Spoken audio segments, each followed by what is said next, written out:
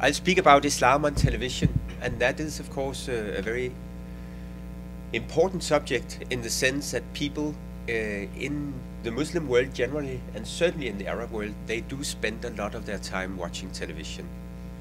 In many, many homes, television would be running all day. Uh, and uh, like in the States, many, many homes would have more than one TV set.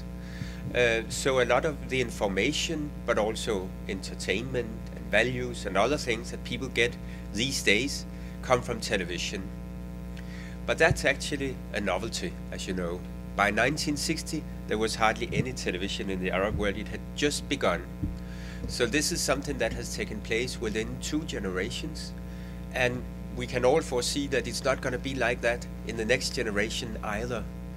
Um, and in those two generations, I would like to point to the fact that in the first generation, that is, in the 1960s and 70s and 80s, people could typically only watch one or two channels, state channels.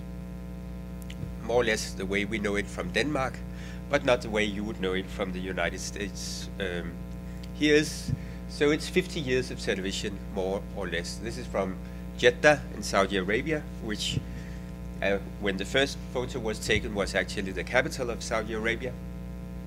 But it just illustrates that this is, has been a major investment by all the states um, because it, they all could see just how important it was to reach a population, a population which in many cases in 1960 was uh, illiterate to a very high degree. And you'd still find that in, for instance, in the Yemen or in Morocco illiteracy is still uh, an important phenomenon in the Arab world.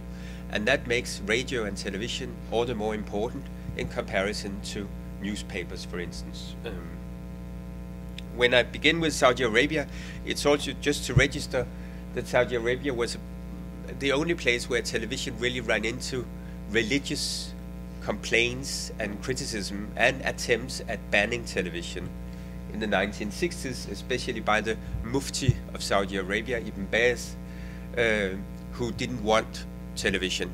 He was blind. I'm not hinting that this is the reason. Um, but he was, even by, by Saudi standards, a very, very conservative man.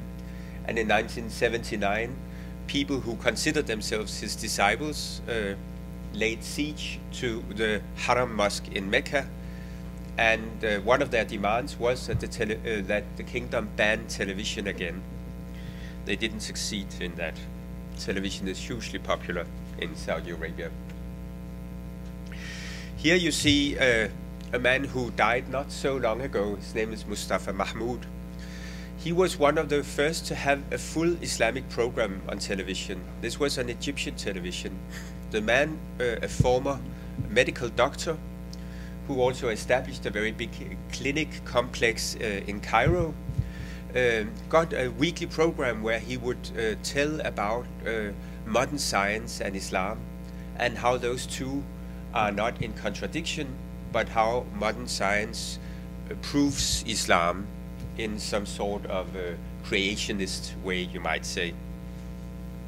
That made him very popular. And this was just the kind of Islam that the Egyptian cultural elite, not very uh, devout necessarily itself, would like for its population. By the 1960s and 70s, Islam was growing in importance, especially from the 1970s onwards. And many people were not too happy about that. Many people in the elite um, in a place like Egypt. Um, you've all heard about the Muslim Brotherhood, but there were also other uh, awakening movements. They talked about the awakening, as-sahwa, in Egypt in the 1970s, and this has in a way continued until this day.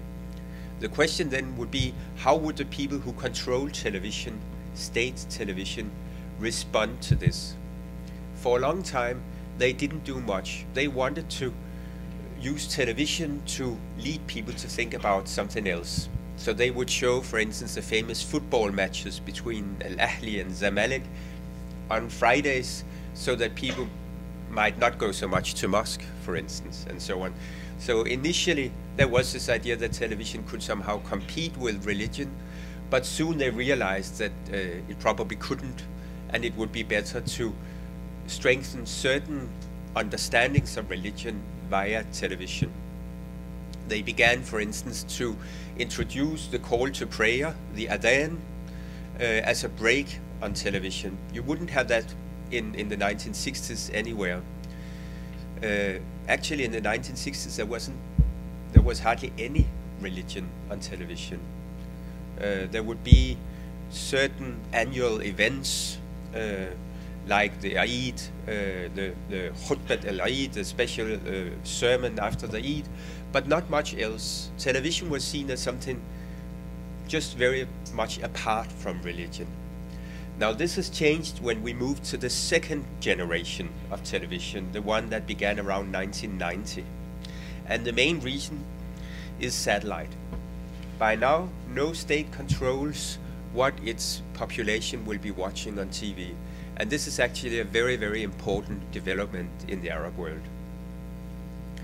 Uh, this is my own view from my office in Al Ahram, an Egyptian newspaper where I uh, worked for a couple of years. Uh, so you can see everybody has got satellite, even in a poor country like uh, Egypt. I think I brought another one as well.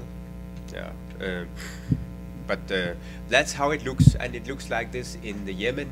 It looks like this in Tunis. It looks like this in Iraq. All over the place, people began to get their own satellite dishes because they wanted to watch something else, not what the state was serving. And uh, some of the things they could watch in the be beginning were Arab channels set up in Europe, in London and Paris and Rome, uh, by businessmen who could see that this has a huge potential. But if we set it up in our own country, it will be completely directed by the Secret Service and censorship and so on. We'll need to go to Europe and beam it into the region.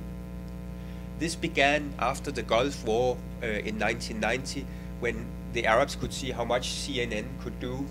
Uh, the CNN could cover that war both from the Kuwaiti side and from the Iraqi side with a split screen you are not old enough to realize just how marvelous this was to the rest of us who had grown up with uh, with television. These kind of innovations, uh, Arab states were very quick to copy them, uh, but most of the states would simply upgrade their own national terrestrial television onto satellite. They weren't very imaginative, but those businessmen who set up channels in Europe they began to offer more interesting big shows, other things, uh, and uh, that's what people wanted. So they abandoned their state television in search of something more entertaining for the most part, but also soon more enlightening.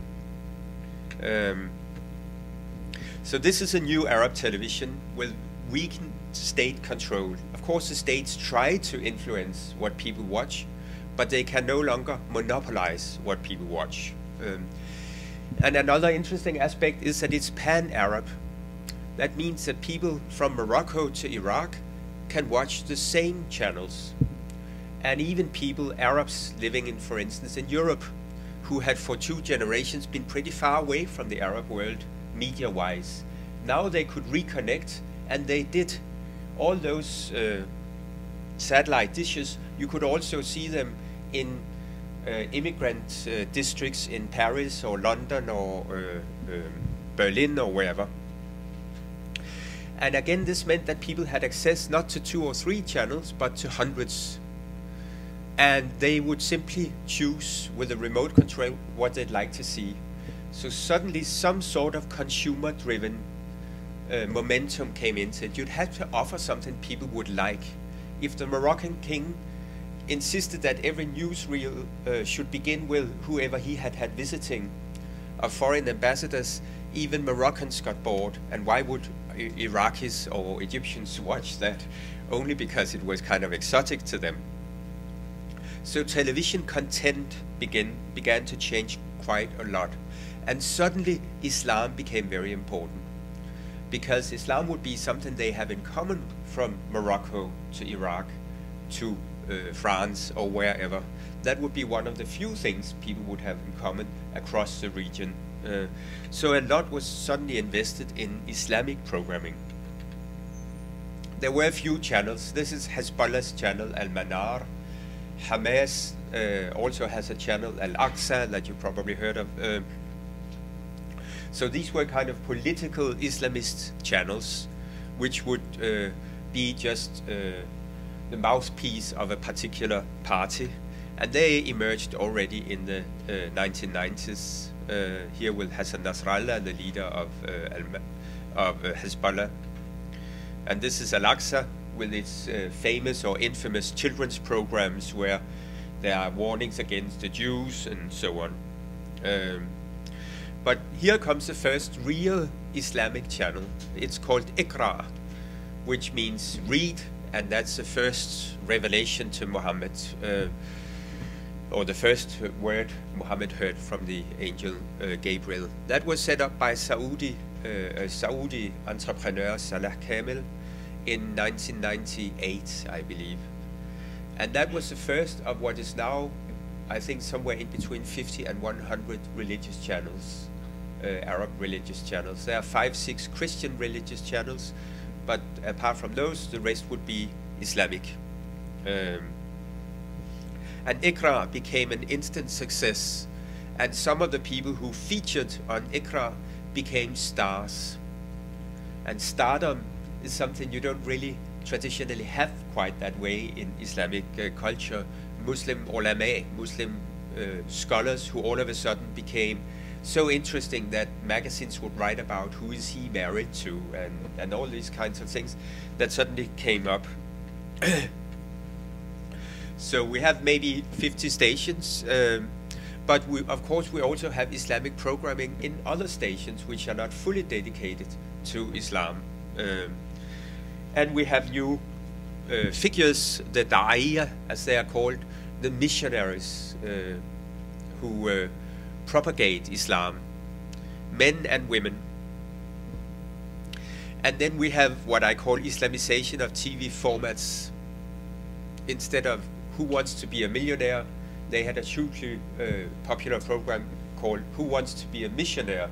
So they would compete in just how good they were at explaining Islam, or instead of uh, beauty contests, they had a famous in, on Iqra. They had a famous beauty contest for women with a hijab, who would tell about just how much they had sacrificed for their parents or something like that. So it should be the goodness of and the, the beauty of the person who should be selected. So this was obviously taken formats from somewhere else and Islamizing them. That's what I mean about it. and often, of course, showing that there are ways of doing things Islamic. This is very important to the Islamist movement from the 1970s onwards to tell people that there's an Islamic alternative, there's an Islamic way of doing things, there's an Islamic way of uh, saying hello, there's Islamic way of dressing, there's Islamic way of banking, and so on and so forth. And, and, television could be good at that, showing that there are Islamic ways of having a cooking program. Then it's about the Prophet's favorite dishes or something like that. All the time they were looking for children's programs, women's programs, all the formats they would need and see how they could Islamize them one way or another. So of course you get a lot of children's programming about uh, figures in the Quran, uh, maybe about the animals that are mentioned in the Quran and so on. Uh, there would be a lot of uh, fantasy involved. They've been pretty slow at developing this, but it's it's on track and it's popular with many children. But some of it is also too moralistic for many children.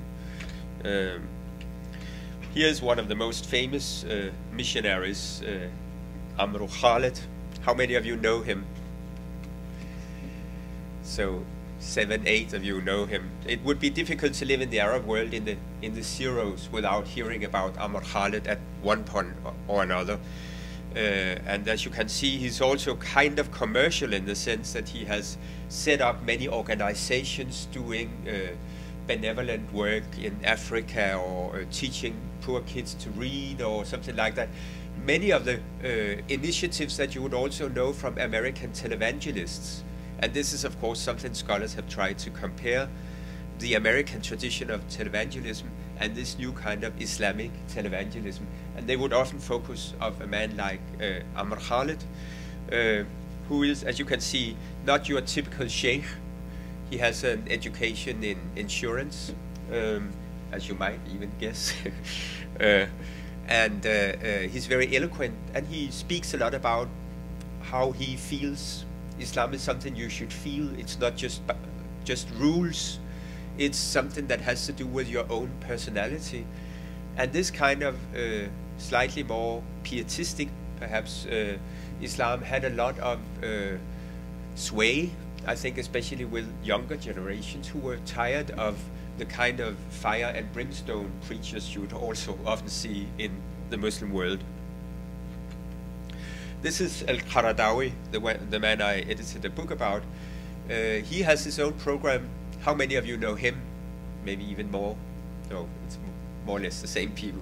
Uh, he is an Islamist sheikh, so he's a real sheikh who has the education, uh, uh Islamic education, and uh, he's Egyptian, but he spent most of his life in uh, Doha, in Qatar, where he has been the most important preacher. And when Al Jazeera, the most uh, uh, the most seen news channels uh, channel was set up in 96, he got his own weekly program called Sharia and Life. And this Sharia and life, that's the same idea that he uh, wants to say that the Sharia is not something venerable that we can sometimes go and look at. The Sharia should be with us all the time. We should devise Sharia ways of living modern lives. That's what he and his movement are about. He's also a very political figure uh, who's been very critical of the West and Israel. But when the revolution set in, he was also extremely uh, critical of the Arab, uh, or he had been for some time also prior to the revolution, critical of Arab autocrats, such as Mubarak in Egypt or al-Assad in uh, Syria. And he even called for the killing of some of them. Uh, so he's a fairly controversial man, but he was born in 1926, so he is uh, almost 90, and probably we can consider him a spent force by now, but there's no one quite like him in the Arab world still at the moment. He's a very different guy. Oh, there are some of you who know him, I can see. uh, his name is, uh, you remember? Yeah, uh, Ahmed Shukairi.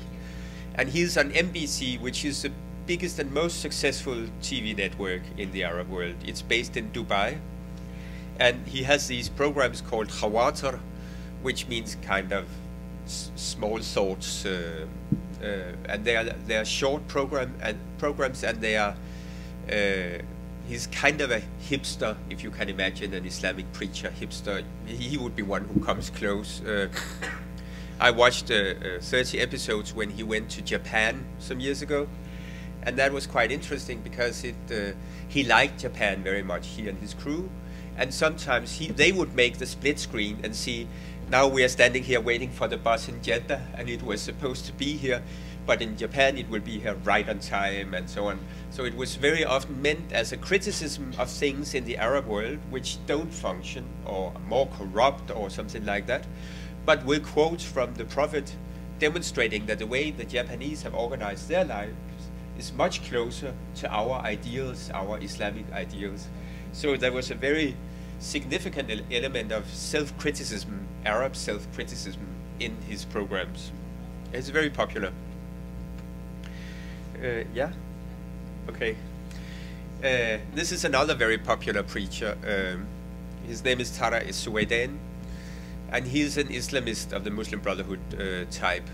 We had um, we had a very big crisis uh, 10 years ago in Denmark because a newspaper published some cartoons as you probably remember. Um, I was a Danish, uh, I was a director of the Danish Institute in Cairo at the time, so I had to go on Arab television and meeting these guys and debate with them, which was very hard because my Arabic isn't that fantastic, uh, and they were very self-righteous at the moment. Uh, and then he and Amar Khaled uh, came up to Denmark uh, because they had criticized the fact that Danish embassies had been attacked and torched and they said the Prophet would never let his wrath go that far. He would be more self-controlled and use it to explain what true Islam is. They, they, they wrote this in the newspapers, they made big ads, so we thought, good, finally we can leave this violent phase and move on. So we invited them up to Denmark for a debate, but it misfired due to this guy, because um, when he came, and we thought that it would be a little less uh, sort of uh, vitriolic the way he would speak, we were wrong. He were extremely hard on Denmark, and the reason we realized was that he was actually launching his own television channel at that event in Copenhagen. Called uh, the television channel is called Al Risala, and it's the uh, richest of the Islamic channels. So it was launched, and that when he was sort of knocking at me. Um, but now he's been fired because uh, the owner of this channel is Prince Walid ibn Talal, who is the richest man in uh, in the Arab world, and uh, he can no longer have an Islamist of the Muslim Brotherhood type with him because he's a Saudi, and right now Saudi Arabia is uh, uh, is uh, trying to condemn the Muslim Brotherhood as terrorists except for in Syria actually, but they are having a slightly contradictory policy on that. So he was fired a year and a half ago. Speaking of generations of television, these uh, which was launched in 98, Al Risala, the one I just spoke, spoke about, which was launched in 2006, they were overtaken by new channels which began to appear in 2007 8 uh, often again claiming that it was due to the cartoons and they had to defend the Prophet and so on. But these channels were Salafi channels, which is a more kind of Puritan conservative version of Islam that you would find in Saudi Arabia. But many of the Salafis aren't too happy about the Saudi kingdom either. And, uh, and these, this one, the most powerful of them, is Egyptian an-Nas. Uh, and uh, they are much more conservative, and you can see they also dress rather differently from the way, or and their belts are very different from the kind of uh, preachers we have seen so far, who were kind of trying to project a modern image, uh, and uh, these are uh, not at all like that. They also have a female channel, the kind of feminist dream that women do everything, but of course, because there must be no man around. Um, and a lot of new channels have appeared. I will spend the rest of my talk uh, talking about these special television dramas that you have in the Arab world, the Musalsalat.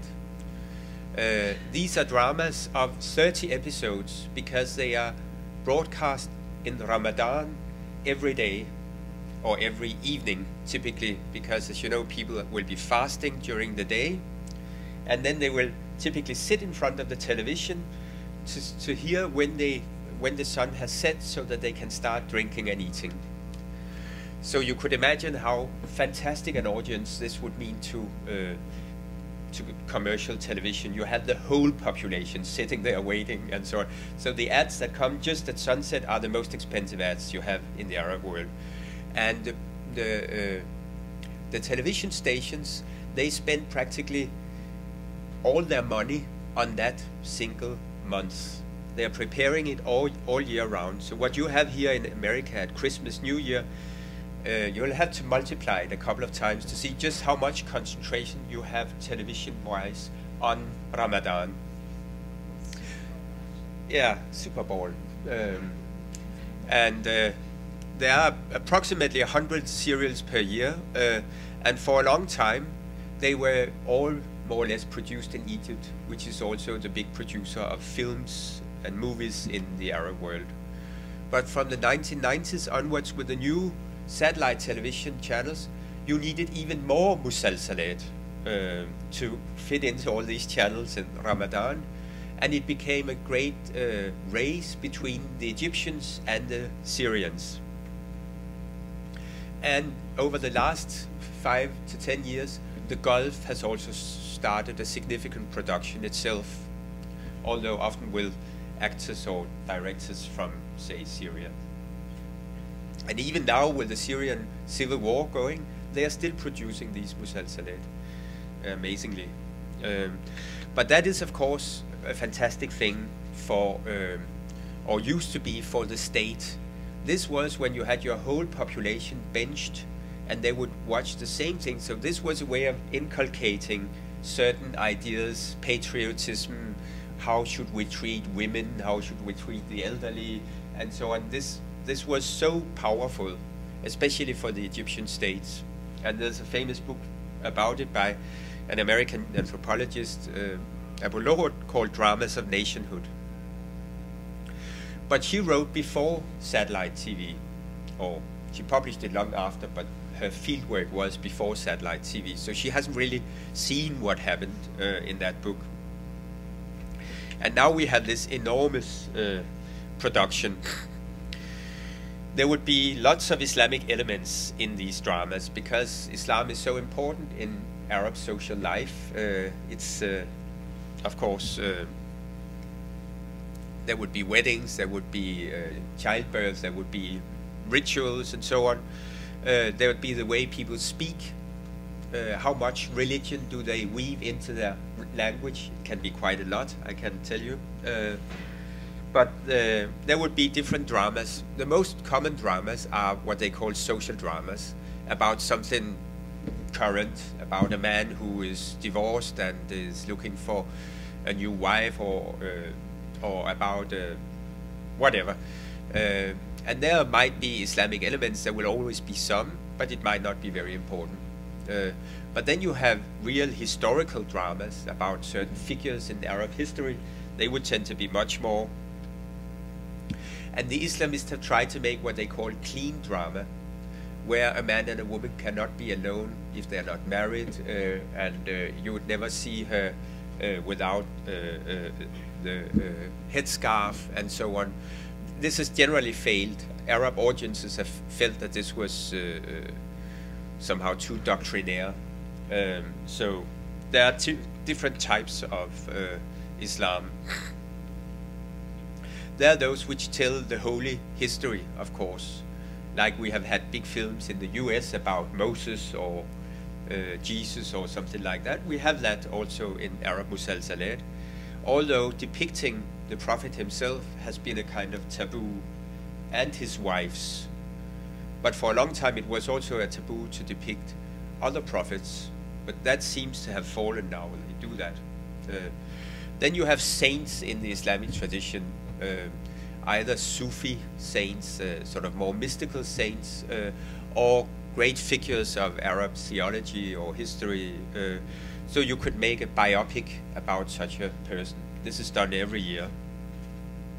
And a special genre is the anti-extremist uh, musalsal about uh, modern social life and how it's being threatened by jihadists. Here's something, something uh, of the holy history. Uh, often these have been produced by Iran, which has a tradition of depicting prophets and holy figures more than uh, than the Arab world, but then it's translated, uh, dubbed into Arabic, and sent by Iran's own Arab channel. They have a, several Arab channels, but uh, or by, for instance, Hezbollah's channel, which is one of their allies. And it's of course interesting to see what do they do with these holy figures. What what kind of take do you, do they have on them? imagine that it, this is 30 episodes, typically of 40 minutes. So if the Quran mentions some people two, three places, it's not quite enough. You'll need more. You'll need many legends about these persons. You might have to add some figures, although this can be tricky, uh, like a servant or someone close where you can see how they interact with people, and you'll have to invent small dramas that the servant uh, ran away for this or that reason and how did he react and so on. So they have to embroider on something. And this is, of course, what Puritans may not necessarily like. then you have the really big, uh, very expensive historical drama like this one about Omar, who was uh, the cousin of Muhammad uh, and one of his main allies uh, in his wars and later became the caliph. This was an extremely uh, uh, expensive, the most expensive musalsal uh, in 2012, produced uh, in the Emirates, and maybe also in a way as some sort of response to these Iranian series. The Iranian are Shia, and they uh, don't consider Omar the hero. In fact, they have a very negative view on Omar. Uh, so producing an Omar series also has kind of a sectarian dimension to it. At least that's how it was felt this year because sectarianism, Sunni Shia rivalry was on the rise. Uh, uh, here is uh, the biopics of saints. Uh, this is uh, about Abu Hanifa, uh, one of the an Iraqi, or long before the country Iraq appeared. 700, he lived in the 700s and founded one of the law schools of the Islamic tradition. And why do you make a, a, a film about him? Maybe to show how tolerant he was of Christians and Jews, for instance. It could be these kinds of messages that you would like to convey. Uh, but we'll have to watch it to see what's what's in it. Then there's the role of Islam in social dramas. This one was also in 2012. It's called Sister Teresa, and it's about uh, two uh, girls who are found one in front of a church and one in front of a mosque door. So left there as as young, and then they grow up in different lives. And maybe one was actually a Muslim who became a Christian, which is a very uh, uh, sen sensitive issue, and maybe the other way around. So there's a lot of play on gender roles and religion because Egypt is very divided, as it were, between its Christians and its Muslims. Uh, so this is one way of, of trying to take up these kinds of uh, uh, pretty sensitive subjects in a way which could be so engaging to people that you might have a chance to move them a bit on these issues. Then something new which has interested me is that now you also have uh, biopics, that is portraits of modern Muslim sheikhs. Um, and uh, uh, this is of course, I'm very interested in anti-clericalism, how, how, how religious figures are being depicted in public. Do you make fun of them? Can you have jokes about them and so on? How, how should they look like and so on? The interesting thing about these ones uh, is that they are made in Egypt by that handsome man down there. It's the same man you see in the three photos. He was a lover boy of Egyptian cinema in the 1950s, 60s, uh, Hassan Yusuf, who then became very devout and Salafi. And the girl he's kissing there, Shamsuddin Baroudi. She was also a very beautiful uh, star in, in Egyptian uh, film, but she also began to don the hijab. If you if you Google her or, or YouTube her, you'd see how uh, there either be kissing scenes or scenes where she's sitting in full niqab and telling why she's she's been donning the veil, but it's the same woman. Um, and they are some of those who do this kind of clean cinema now, uh, not the kind of racy cinema they once did, um, and uh, depicting various religious figures from 20th century Egypt. Then there are the anti-extremist musalsalats, uh, which can be very violent because it's about how young men are lured into terrorist cells. They are protesting against this or that in, say, Saudi Arabia or Yemen uh, or Syria, uh, but find out that they're actually being exploited by elderly sheikhs who, it turns out, are actually doing it for money. They are having women on the side, or, and so on. They're not at all what they appeared. Um, this one to the left is a series from 2010 about the founder of the Muslim Brotherhood, Hassan al-Banna, made by Egyptian state television that is under Mubarak. So it's pretty critical of Hassan al-Banna. Uh, it wants people to know Hassan al-Banna not quite the way the Muslim Brotherhood itself would depict him, but on the other hand, he's too big a figure just to just to say that he was an idiot or something. So it's it's a little bit more subtle than that, but it's clearly a very political uh, musalsal. Yeah. Um, there are the historical dramas. Uh, these, for instance, are about uh, some of the great uh, Mamluk heroes or Ottoman heroes and how they ruled. Uh, and that's, of course, interesting that you make these kind of things in autocrat regimes such as Mubarak's Egypt or Assad's Syria. Here will also be messages about the good ruler and the bad ruler, al-mustabid, al-mustanir, as they would say, the enlightened despot. Um, I'd better end this now. Uh,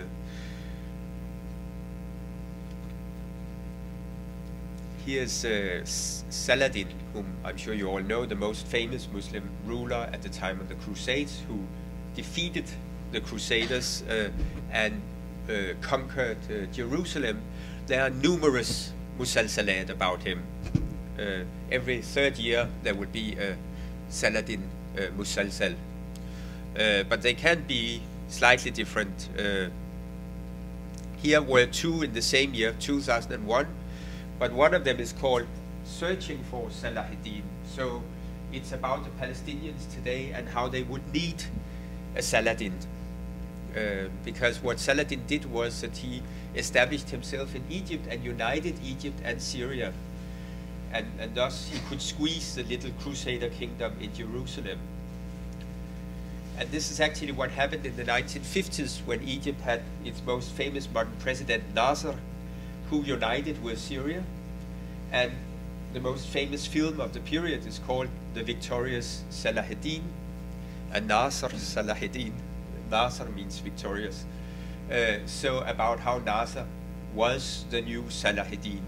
And that's what they are often playing on. These are very nationalist uh, films, but and that's it. You can make Salahuddin a, a modern Arab nationalist, or you make, can make him a great Islamic ruler so who do you choose? Where are you placed in this kind of battle for hearts and minds, as it were?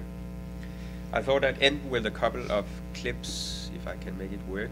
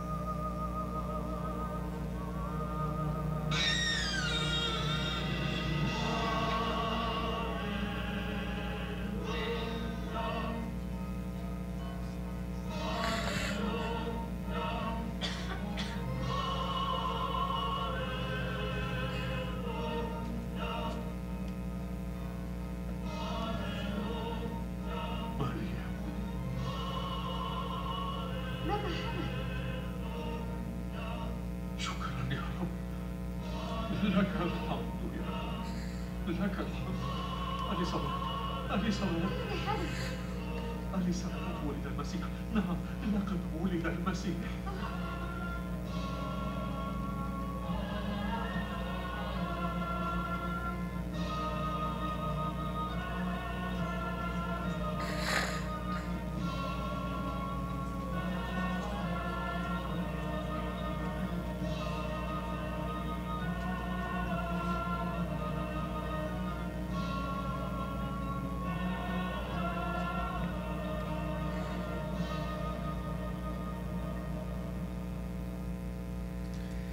I think you could see what that was.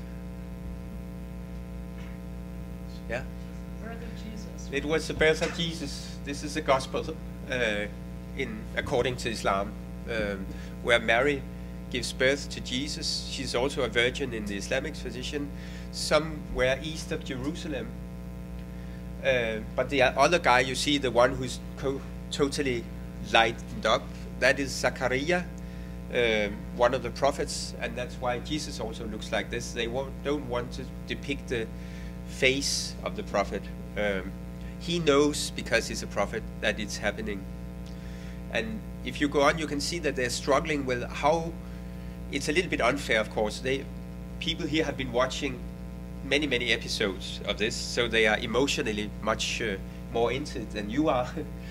Uh, this is this is a culmination of, of the series uh, that she has been vilified and so on because nobody believes she's a virgin and, and so on. She's had a very hard time, and you can see how how when they depict her, they they will end up doing exactly like you see here in the uh, in the National Gallery, a medieval Christian uh, Mary with the same blue and white. You see her pick small uh, white flowers and so on, all the kind of iconography we know from the Christian tradition, because you don't have an iconography in the Islamic tradition. And how do you make a miracle? Well, special effects. That's how uh, Christians have made miracles in their religious films. So when God speaks to her in a little while, I should maybe have shown you that, he will have this deep voice of, uh, what was his name? Charlton Heston or some, uh, who spoke in in the in the uh, Cecil B. DeMille films, uh, they they will have to employ an artistic or uh, cinematographic uh, language, which is actually employed from another tradition. You will see a bit of the same here. This is about one of the most important Egyptian preachers in the 20th century, uh, and he's praying. Ah, sorry, what happened here? Uh, doesn't it work?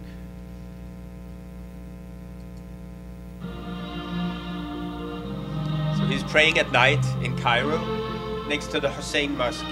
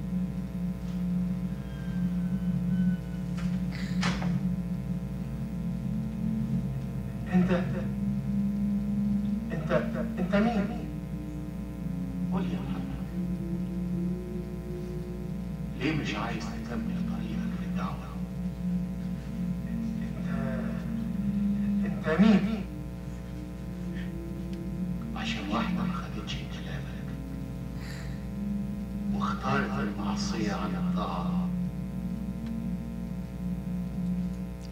So what was that?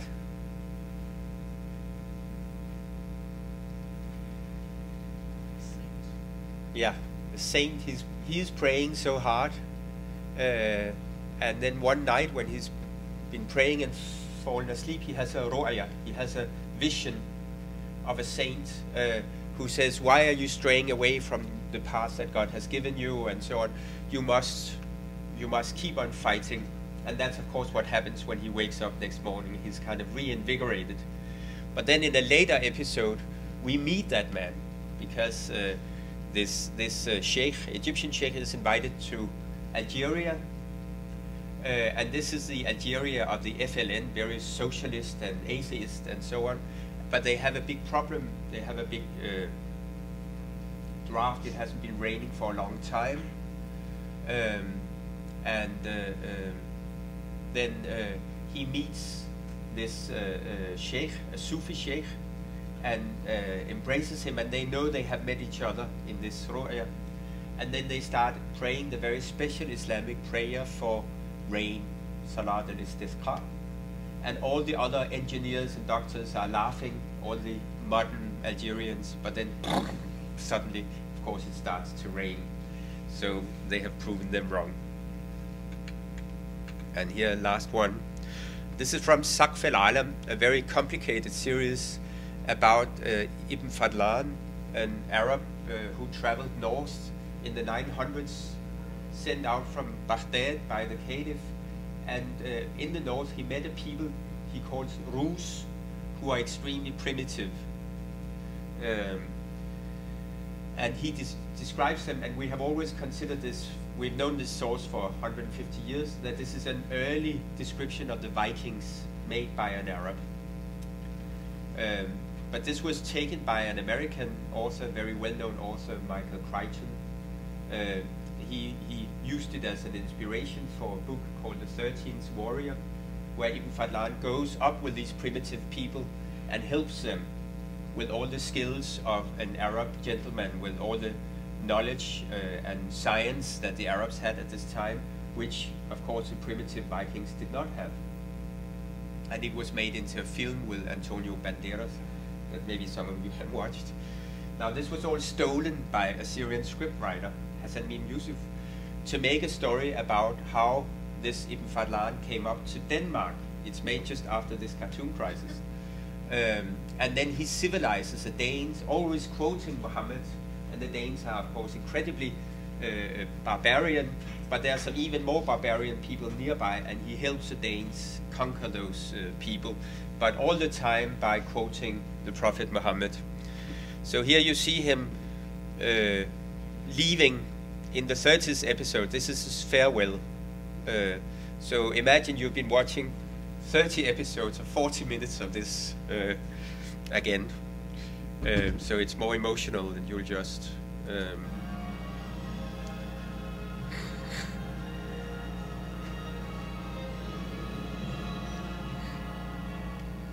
it's taken in northern Syria.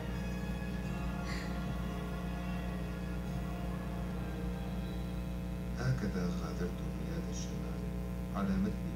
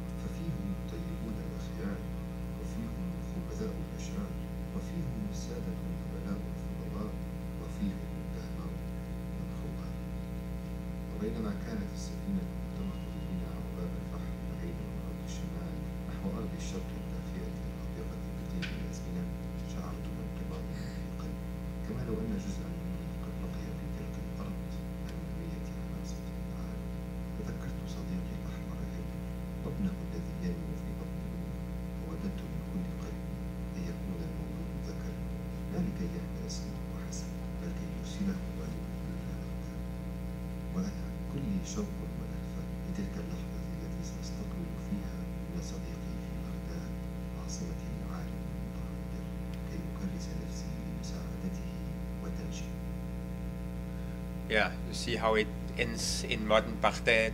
So where's the barbarity now? It's kind of made a, a, a tour from claiming that uh, the Danes are the barbarians, till at the end he actually considers Denmark a fairly civilized place. Uh, he was very proud of that. I invited him to Denmark, but uh, that's another story.